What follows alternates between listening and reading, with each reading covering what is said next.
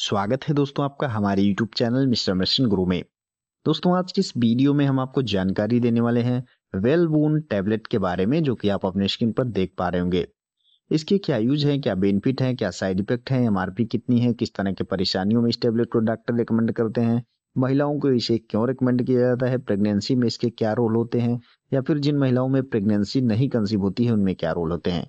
पूरी इन्फॉर्मेशन आपको इस वीडियो के माध्यम से इस टेबलेट के बारे में देने वाले हैं तो बने रहिएगा वीडियो के लास्ट तक। और अगर आप चैनल पर पहली बार विज़िट कर रहे हैं तो चैनल को ज़रूर सब्सक्राइब करें वीडियो को लाइक करें और बेलाइकन ज़रूर दबाएँ, ताकि मेडिसिन से रिलेटेड जो भी इन्फॉर्मेशन हम शेयर करें आप तक नोटिफिकेशन के माध्यम से ज़रूर पहुँचे। बात करें कंपनी की तो Unileap biologics private limited company के द्वारा यह मेडिसिन बेची जाती है। छह सौ सत्तर रुपए इसकी एमआरपी है, यानी कीमत है।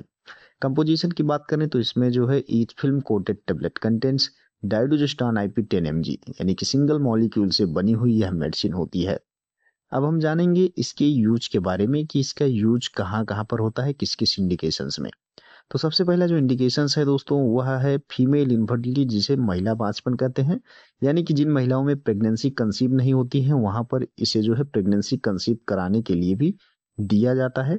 साथ ही साथ इरेगुलर मैंसेज जिन महिलाओं में दोस्तों पीरियड जो है इरेगुलर होता है, समय पर नहीं आता है, वहाँ पर भी इसे रिकमेंड किया जाता है। इससे जो है महिलाओं में जो इरेगुलर पीरियड वाली प्रॉब्लम रहती है, वह भी दूर होती है। साथ ही साथ इंडोमेट्रियोसिस के केस में इसे डॉक्टर रिकमेंड करते हैं।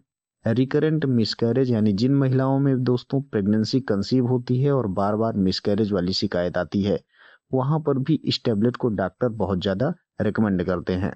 साथ ही साथ दोस्तों थ्रीटेन अवॉर्शन हुआ प्रीटम बर्थ हुआ, जहाँ पर बच्चे जो है, समय से पहले पैदा हो जाते हैं। तो इस तरह के केसेस में डॉक्टर इसे रिकमेंड करते हैं।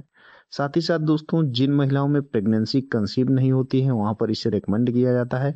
इससे जो उनका इंडोमेट्रियम वगैरह रहता है, वो भी प्रॉपर तरीके से क्योर होता है, यानी रिपेयर होता है, और जिससे जो कंसेप्शन के चांसेस होते हैं, वो बढ़ जाते हैं। तो ओवरऑल दोस्तों, इसका जो रिकमेंडेशन है, वह female infertility preterm birth habitual abortion threatened abortion इसके अलावा as a luteal support in during pregnancy cases इसका रोल होता है। डोज की बात करें तो चूँकि भिन्न भिन्न जो है इसके इंडिकेशंस हैं भिन्न भिन्न इंडिकेशंस में इसे डॉक्टर रिकमेंड करते हैं, इस वजह से इसका डोज डॉक्टर एज पर जो है इंडिकेशन रिकमेंड करते हैं। साइड इफ़ेक्ट की बात की जाए तो इस टेबलेट के लेने से कुछ पेशेंट में दोस्तों थोड़ा बहुत नौसिया वोमिटिंग या फिर जो है थोड़ा बहुत किसी किसी पेशेंट में कॉन्स्टिपेशन और गैस वाली प्रॉब्लम दिख सकती है। बहुत ज़्यादा कोई साइड इफ़ेक्ट नहीं होता है। ये सारे साइड इफ़ेक्ट ज़्यादातर अपने आप ही ठीक हो जाते हैं। बहुत ज़्यादा कोई साइड इफ़ेक्ट दिखे तो डॉक्टर से संपर्क करें और दी गई जानकारी अच्छी लगी हो तो चैनल को ज़रूर सब्सक्राइब करें। मिलेंगे अगले वीडियो में। तब तक के लिए जय हिंद, जय भारत।